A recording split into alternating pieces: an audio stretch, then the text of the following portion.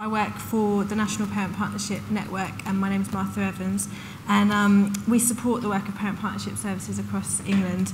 And our vision is that um, sorry, thank you. So our vision is that parents and carers of children and young people with disabled children and children with special educational needs have access to high quality parent partnership services which are widely respected and are impartial sources of information, advice and support. So I'm sure you know what parent partnership services are. They're statutory services. They, they have, offer advice and support to parents. Um, and uh, they're required to be impartial.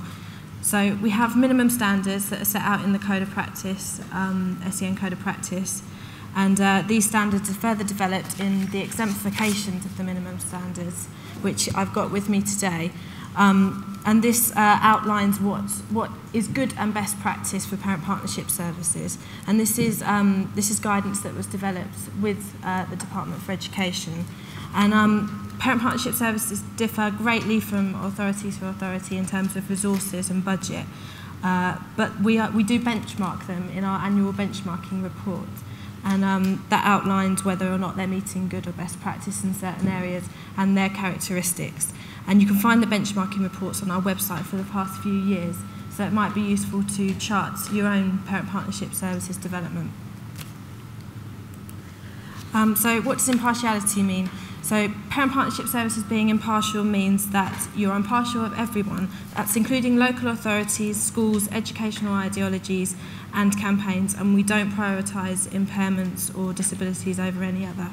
Um, if you have any concerns about your own parent partnership services and partiality or the amount of resources that it has, uh, firstly talk to your service, then you could talk to the local authority, and when you talk to the local authority, do use these exemplifications to chart where, where your parent part, you think your parent partnership service might be. Um, and, you can, and these are quite a good tool to use, and you should use them with your parent partnership service.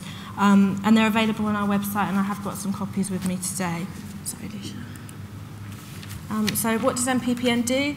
Um, NPPN makes sure that parent partnership services know about changes to national policy and we do that in, uh, through using e-forums and sharing good practice in a quite similar way to what it sounds like happens with parent care forums.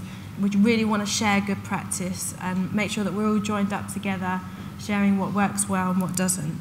Um, so we have a website for parents and for parent partnership services. Um, we support and encourage the development of parent partnership services.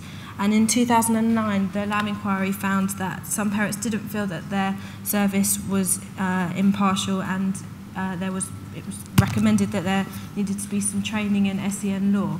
So uh, NPPN, in conjunction with IPSEA, um, a charity that uh, give advice as well, developed some legal training for parent partnership services and that was in 2010 and since then 80% of services have completed that legal training and we're trying to get that to 100% over the next couple of years. Um, so we do provide lots of training and uh, just support generally. So, sorry. So we are going to be doing some joint working with the National Network of Parent Carer Forums um, and we've developed six draft principles and I've got them in a slide, but I don't think we've got time to go through them, but do look through them and let your regional rep know what you think of them. And we're hoping to use these draft principles to develop some joint training that we might be running in October.